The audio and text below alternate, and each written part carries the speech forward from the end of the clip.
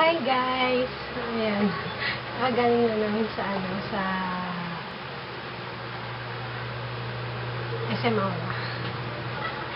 So yun, ah, may tas yun, i-film ko na itong over long overdue na, ano, na what's in my bag. Medyo magulo, sorry. So yun, may, ito yung bag ko.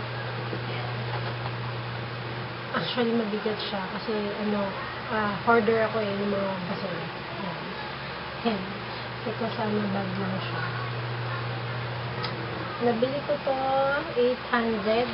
May isang bag pa siya sa loob. So, hindi kasi ako pa masyadong particular sa bag. Kasi actually, kung, kung, kung kilala niyo ako, hindi ako nagpapalit ng bag. Hanggat hindi siya nasisira. Ganun ako. So, yun. Hindi talaga ako nagpapalit ng bag. Basta, tamad kasi ako mag nagpasok, tapos palit na naman.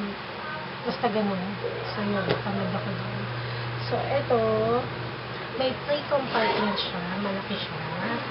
And then, puro basura yun so, unahin ko muna yung ah, itong pinaka-inner na compartment. Ang laman niya is charger. Second, wallet. Third, yung cellphone ko. ID. And, and then, and, and then, ball. So, yun. Wala na naman yung first compartment. Ah, uh, tayo sa second. So, the second kong compartment is power bank, power bank. Hindi tayo ng lobat, headset, earphone. Wala na, yun lang. At dito na tayo sa pinakamagulong compartment, ang makeup compartment. makeup talaga. So, ayan, ganyan siya kagulo. Nakita nila, ayan. Kagulo talaga siya. So, dahil maliit yung ano ko, yung makeup dumi na ng AC, ito, AC to wear. Yung napan, napanalunan ko kay Miss Lindsay, Casey Chok. Ayan. Mga makeup lang yan. Hindi ko yung papakita sa inyo kasi madumi. So, yun. Ah, next na lang, yung makeup kit na.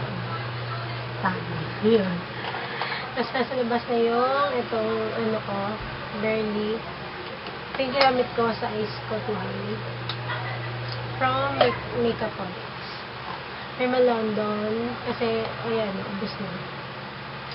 Silky Beige yung gamit ko dyan. Tapos, yung may Dream Girl na maganda yung shade na ito eh. Perfect sa skin tone ko. Tapos, tatlong brush na Artist Studio. Ayan. Blush on face, tapos sa eyeshadow. Pero bihira naman ako mag-retouch sa mall. Galing kasi ako mall.